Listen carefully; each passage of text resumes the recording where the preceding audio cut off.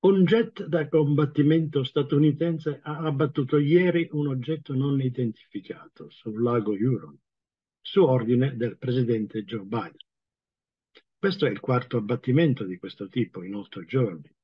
È l'ultimo attacco militare in una straordinaria catena di eventi sullo spazio aereo degli Stati Uniti senza precedenti. Da allora altri tre simili oggetti sono stati abbattuti sul Canada e sull'Alaska.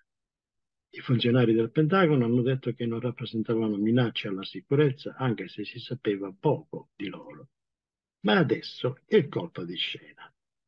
La Cina accusa gli Stati Uniti di aver fatto volare illegalmente palloni ad alta quota nel suo spazio aereo più di dieci volte dal gennaio 2022, mentre le tensioni bilaterali divampano nelle ricadute di un pallone cinese che è stato abbattuto da aerei del combattimento americano dopo aver viaggiato attraverso gli Stati Uniti continentali.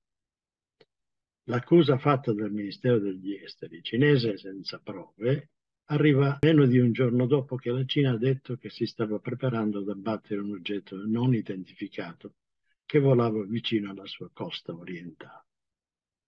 Siano essi cinesi o americani non si sa nulla ancora sulla natura e finalità di questi palloni e loro contenuti, Finora tutta questa storia assomiglia ad un tipico romanzo di fantascienza con gli UFO, oppure nasconde segreti di spionaggio da guerra fredda.